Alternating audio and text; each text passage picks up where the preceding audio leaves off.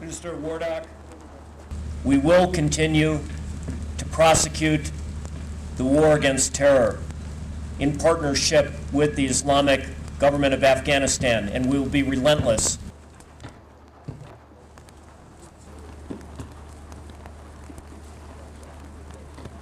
We know the job's not done. We know it'll be a tough job yet again. But we're committed to seeing the job through, to ensuring that peace comes to Afghanistan, to helping the moderates win against the extremists in this fight that we're engaged in so boldly and so broadly across the greater Middle East.